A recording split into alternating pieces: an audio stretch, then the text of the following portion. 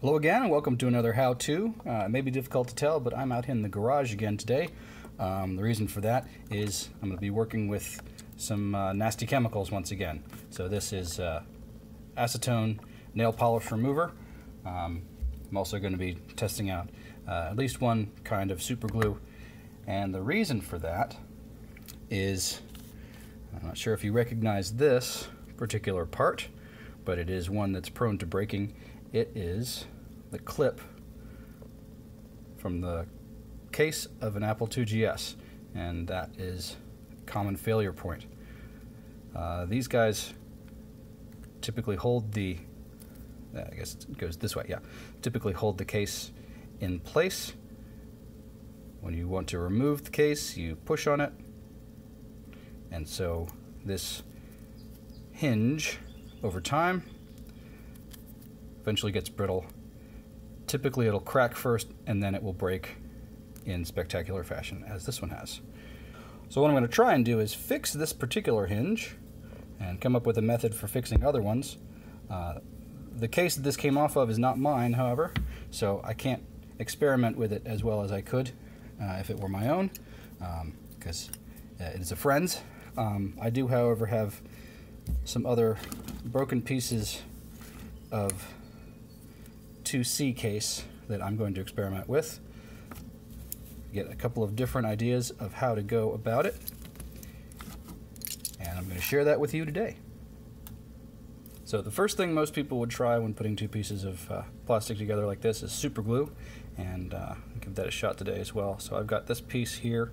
It goes back together. It's a pretty good joint. There's no gaps in there to fill in. There's no missing pieces. So super glue should work pretty well with this because it works best when there's no air gap in between the pieces that you're gluing together. However, I don't think it's going to be ideal for this because after it makes that joint, it's going to be fairly brittle and any additional stress on that is going to break it pretty much right away. Just to give you a control group, so to speak. Go ahead and get a dab of this. This is a cyanoacrylate Loctite brand, ultra gel, so it gives you uh, at least a few seconds before it bonds to get the pieces in place and hold them together.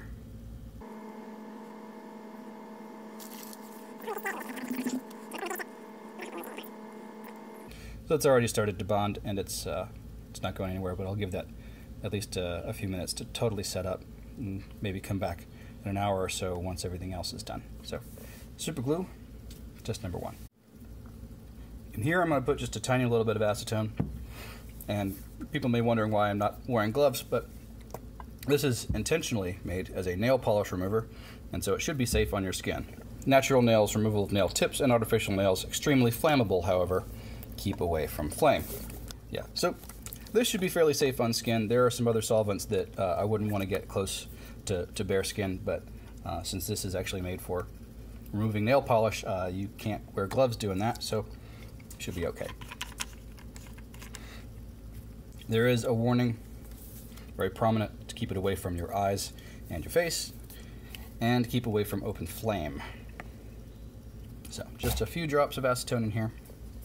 It's hard to tell because it's clear.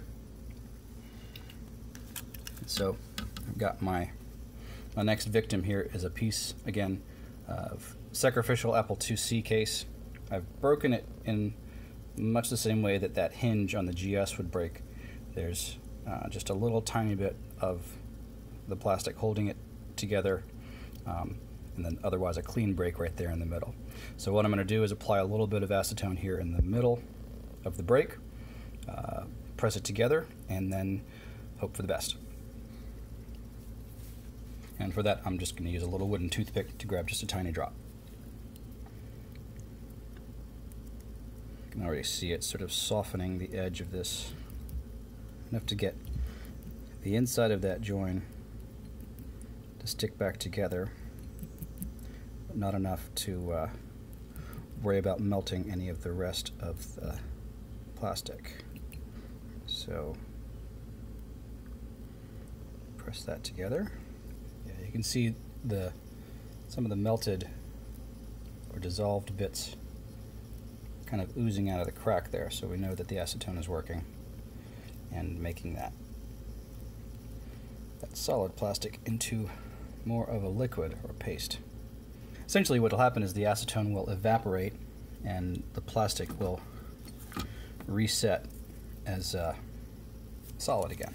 And finally, uh, what I'm going to do is mix the acetone with some little shaved off bits of that plastic and mix it together to make almost like a, a glue.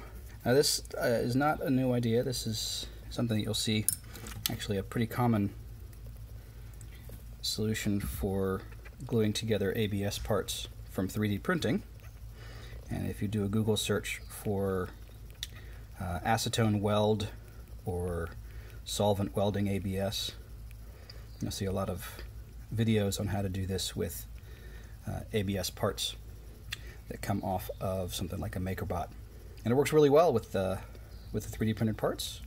So I thought I'd give it a try with some of these 30 year old Apple II parts. Because the acetone, as you can see, is dissolving that pretty effectively into a paste. And that's what we're going to use as our glue. And it will also work pretty well as a filler for where those joints don't always come together perfectly. I'm literally just using a few drops of acetone. Doesn't take much, and this plastic is totally dissolved after a minute or two.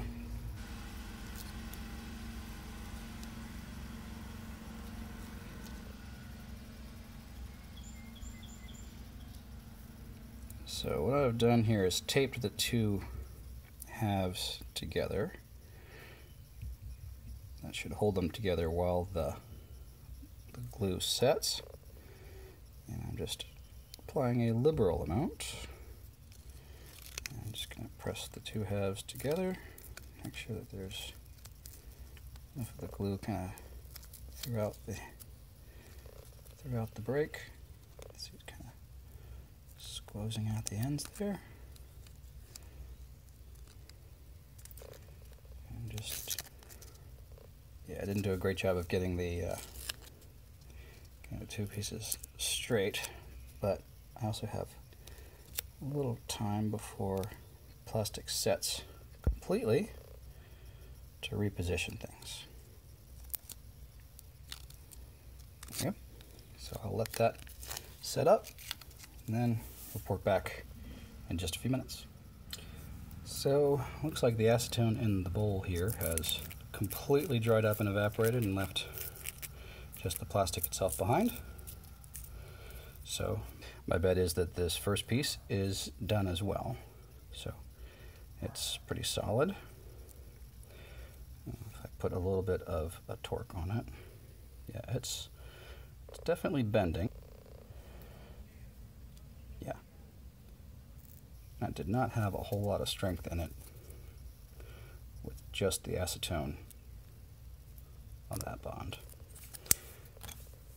Let's take a look at the super glue, which is probably going to be about the same. So just a little bit of pressure there. I can see that the plastic here is plastic is bending there, but the super glue is not breaking. The super glue is holding up pretty well. I'm surprised at how strong that is. Usually it's a little bit more brittle.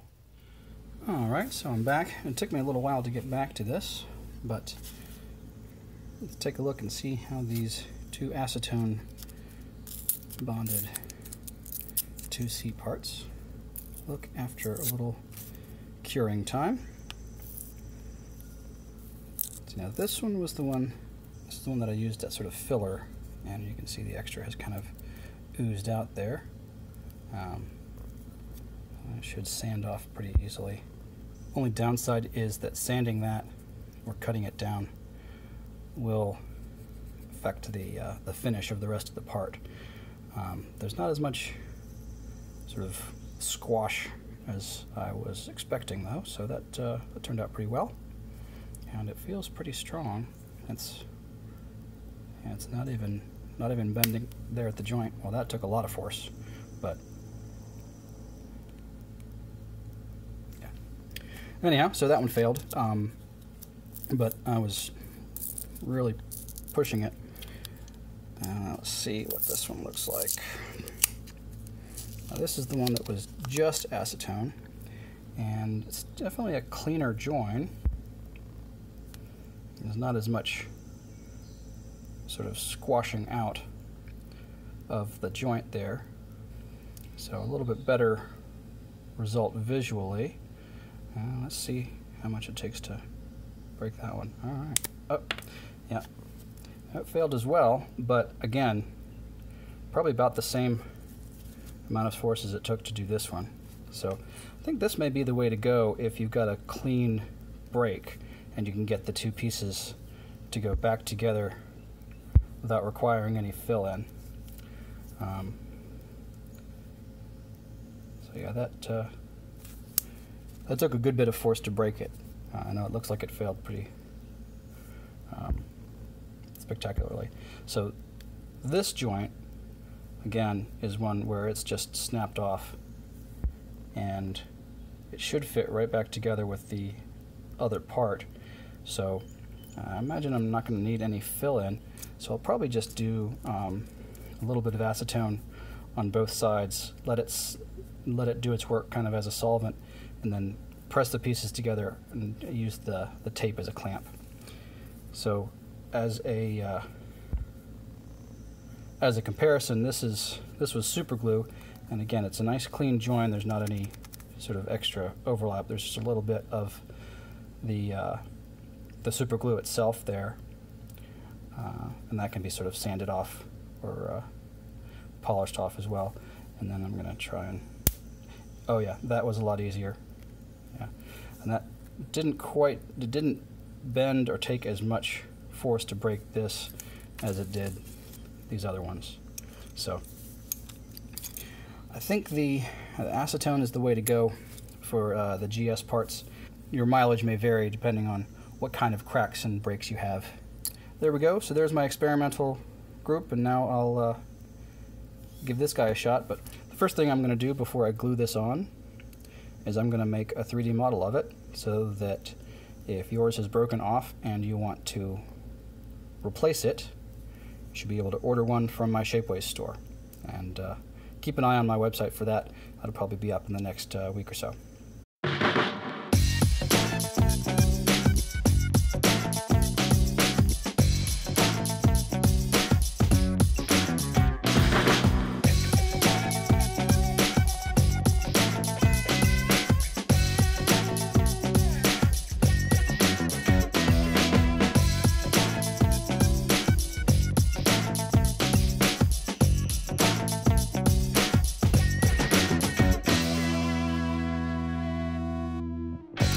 So here we have the aforementioned IIgs, and you can see this latch is intact, whereas this one has gone missing. The normal mode of operation for these guys is you uh, push that in and lift up the top case, and it should come off like so. So as you can see, that puts a lot of stress over time on this little uh, joint in the plastic right there. And sometimes you can even see where the stress on the plastic has actually turned it white. That's what happens when plastic itself gets a little stretched under tension. This one seems pretty solid though. And here you can see a little bit better view of the failed joint right there as I said before, what I'm going to be doing is putting just a tiny little bit of acetone there on the exposed part of the broken join there, and then matching it up with its mate here. And uh, what I'll do, I'll take this out of the way. I don't want to get acetone on that, but I also don't really need it sitting in the way. What I plan to do is tape the broken piece in place and use that as sort of, uh, use the tape as sort of a hinge and as a clamp to hold it in place once the actual acetone is on the joint there. So, if you've never taken the power supply out of a GS, uh, it's a pretty easy process. Apple started to get their mojo together around this time for making cases for uh, their machines very modular and easy to disassemble. So it's just a matter of removing the, the actual plug here and it's even keyed so you can only put it in one direction. And then the latch on the front of the case, pull that latch back. This is another thing that could break, um, but it doesn't get actuated quite as often as the ones in the back of the case. Um, but uh, if you do have a broken one of these, um, I don't think it's quite as critical because you generally don't take the power supply in and out that often and uh, gravity will pretty much hold it in place. So you just pop that, pull it up, and it will come out of the back. It also has tabs along the back that mate with these in the back of the case that holds it steady from moving the, uh, the machine around a bit. Um, this battery, uh, just for those who are sticklers for batteries and such, um, this battery has been replaced and it's actually on uh, a little removable socket here. So before this goes into storage again, um, the battery can come out um, or it can be replaced with a fresh one if it uh, runs out of juice. If you have a GS and you haven't replaced this battery with a socket or one that can be removed, um, go ahead and pause the video and go do that now because uh, these batteries not only will fail, um, but they'll fail pretty spectacularly and blow out some nasty gunk and uh, generally cause um, corrosion nightmares on the logic board here. So now that you've done that and come back to watch the rest of this video, um, let's get to the repairs. So I'm just using uh, pretty cheap blue painter's tape here. Uh, nothing fancy, but uh, it'll also come right off the case without leaving any residue. And uh, I did test it before with the acetone. This stuff isn't going to dissolve in acetone itself, which could be uh, kind of a giant mess if that were the case.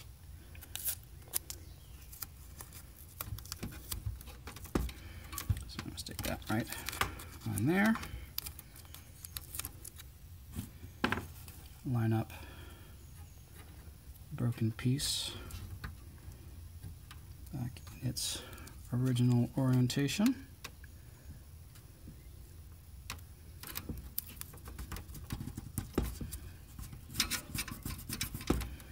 And I've got a little hinge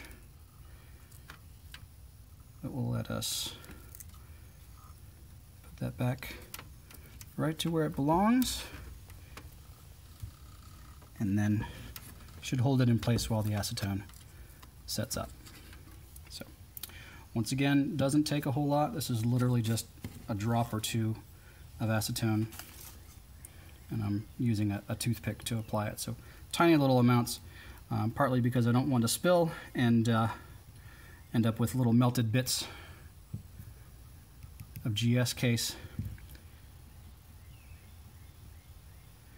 But also because this doesn't really need that much to work.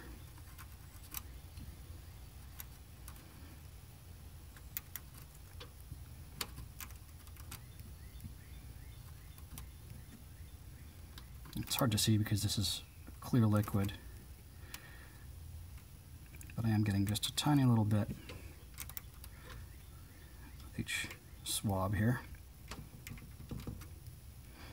Might be worth trying with a Q-tip or something like that if you've got a larger area to apply to. I know this isn't a whole lot of acetone, but the stuff is fairly volatile and it stinks. So you should be doing this as I am in a well ventilated room. I think that should do it. Just pop that right onto there. So the tape is holding it in place put a little bit of extra pressure on it uh, for a minute or so while it uh, while it sets up initially and then I'll come back in a little while and uh, check on it, see how well it behaves. So after having taken a look at the, uh, the result here, I think what happened was me messing with it after the uh, messing with it yesterday while it was still curing was probably not the best idea because it seems to have just broken clean off where that join was, um, even though the acetone looks to have done a pretty good job of bonding the plastic together. So I'm going to try it again, uh, and this time I'm going to make sure that I have a nice clean weld here and a nice uh, uh, solid surface for the acetone to work on and then um, just going to leave it be and not mess with it, uh, not test it until it's totally set up. So I'll check back again in a little bit. All right, I'm back again, uh, having a look at uh, this uh, acetone welded joint. When I came back before, it seemed extra wobbly, so I made sure to, to give it an extra push down into place um, just to make sure that the, uh, the, the parts were bonding pretty well. And normally what I would say is clamp this, but this is such a weird shape that uh, the tape the tape did a pretty good job clamping it, holding it in place. Pressing the parts together like a sandwich would be ideal, but uh, since you're doing thing and things end on, it's it's difficult in this particular situation, and also the shape makes it hard. But um, pressing on it with the uh, the usual amount of pressure needed to uh, actuate the hinge, and uh, it seems to be uh, well, well. I say that, and then it just broke. So, oh well. So I'm going to call that a failure. It seemed to be okay, but ended up failing. Alright, let's see what we've got this time. Pretty solid again, but the last one did too. Work that back and forth a few times. Seems like it's pretty solid.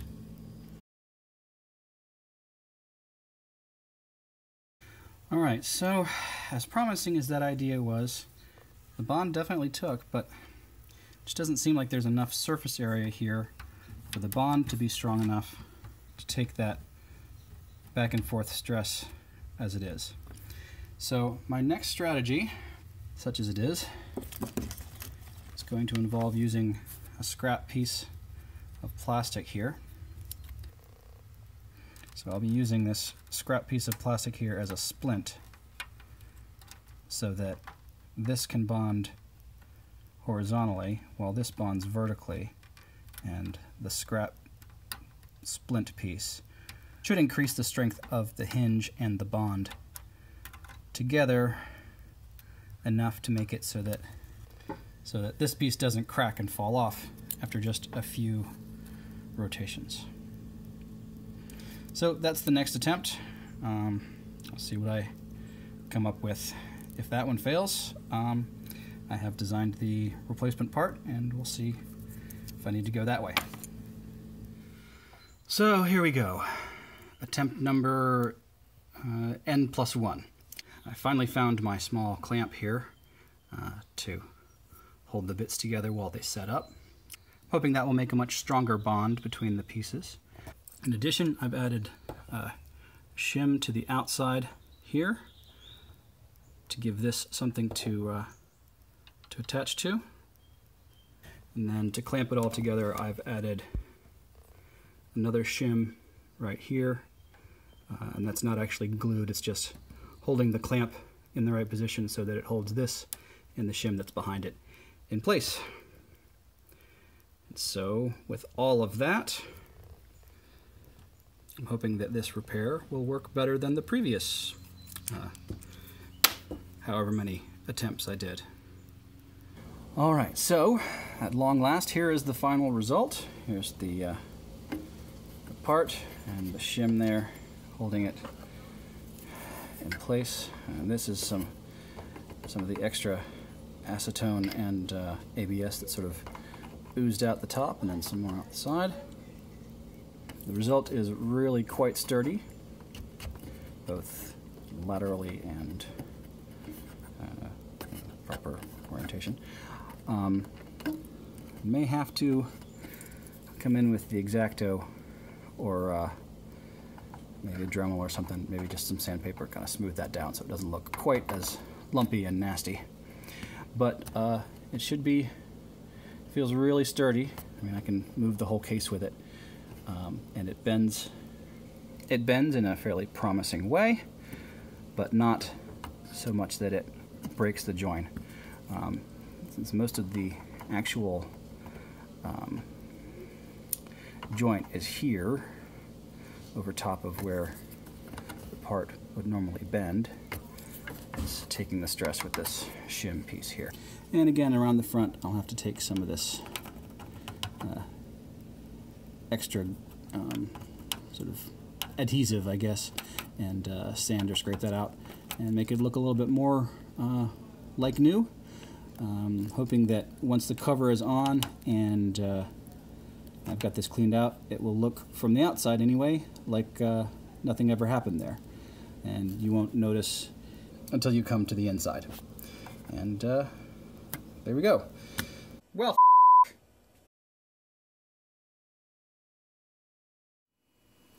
And so, after all of that, I'm left with this broken piece, all of its nasty brokenness. Rather disappointed, but I do have my backup solution, which is a 3D printed replacement part. Um, it should work without glue. Uh, I've added a little latch here, and uh, this should fit underneath the uh, broken off piece. Um, that's left over inside the case. I've taken an X-Acto and uh, kind of shaved this part smooth so that it's even with the back of the case here. Maybe just a little bit of sandpaper to kind of make that nice and even uh, so that this will sit flush with this ridge that runs around the edge of the GS. And then this notch here is where this piece will go. And it should be flexible enough. Uh, of course, I say that about plastic, and then of course it breaks the next time I try and flex it. But it should be flexible enough to bend without breaking. I say that as I bend it without it breaking. Um, this is the this is from Shapeways. This is the white, strong, and flexible material. Uh, this file is also on uh, Thingiverse. So if you have a 3D printer, you're going to need to print it um, with some supports uh, for this part, but the rest of it should print just fine without any extra support. I kind of changed the uh, the overhang here. The only thing that's going to need support is this uh, this little latch bit. Um, uh, I'd print it solid because it's pretty thin in places rather than trying to do a, uh, an infill. Just go ahead and do 100%. Um, so let's test fit it and see how it works in this GS. Okay. That seems to be all right. Looks like the latch could be a little bit longer. Yeah, this part here could be just a little bit deeper, but see how it works, or how it will work once this part is the right dimension. And uh, there we go. So that should stay in place. Again, once this is in the right spot, this little latch here will hold on to that notch there and that should provide it enough support to be able to go back and forth or at least hold the top of the case, the GS, in place. And now after some strategic adjustments this fits a little bit better. Um, I feel like it may actually need a spot of glue right here for a really solid purchase but uh, with a couple of small tweaks to the design. This will fit more securely and uh, will be a good replacement for folks with broken latches. Um, it is kind of a stark white right now, but the uh, solution to that is a really quick paint job. And uh, yeah, then it'll be done. Uh, a little sanding, a little uh, paint, And aside from a couple of details uh, sticking out here at the edge of the case, uh, it should look pretty much like original equipment um, after a little bit of paint and sanding. And I'm back again with the painted part. Here we go. Uh, see, it's a little bit more platinum in color than it was before. I'll just snap that in place. And uh, again, slightly redesigned part will probably stay in place a little bit better, but this will give you an idea of the uh, the end result. So let's put the cover back on and see what it looks like. And that's about how it's going to look. Again, there's still some tweaking required, but should hold the uh, hold the cover in place. And obviously, if it needs a little bit more stability, you can always add a little glue, or maybe even just a piece of uh, double-sided tape or something there to hold that. Obviously, if you're less concerned about this part being removable, it can always be uh, glued in place instead of just relying on this latch. So there's the replacement part, and here's an original part.